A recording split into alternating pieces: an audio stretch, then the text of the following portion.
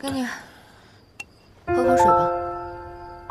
看来你还是挺爱赵斐然的，不像其他的富家太太那样，对自己的老公出轨睁一只眼闭一只眼。他跟谁有关系，我根本不关心。我关心的是我的车祸。车祸？你怀疑你的车祸不是意外？这就跟你没关系了。我可以帮你。你要怎么帮我？哎呦，谈到这个问题，有点头疼。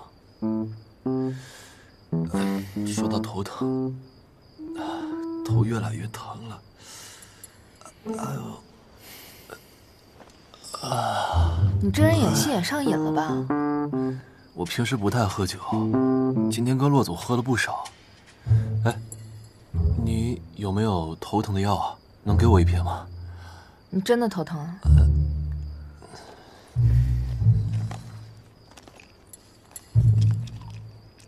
嗯。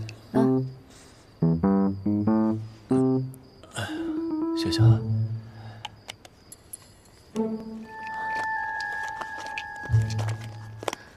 给你，喝口水吧。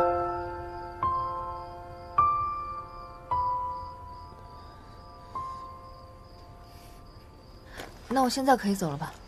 等等，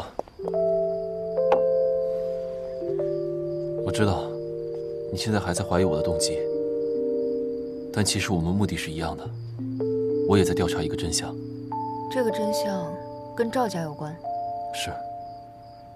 所以，我希望你认真考虑一下，跟我一起。不好意思，我现在还是有夫之妇，不方便跟你一起。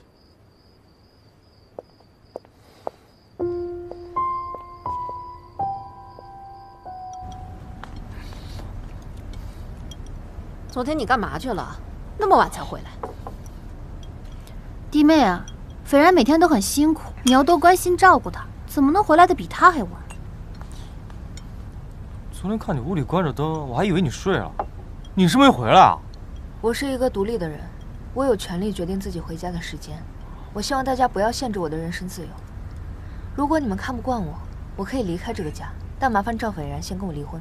那离，立刻离，马上离。斐然，赶紧跟他签离婚协议。老婆，我可没这个意思啊，我只是关心你。妈，你说什么呢？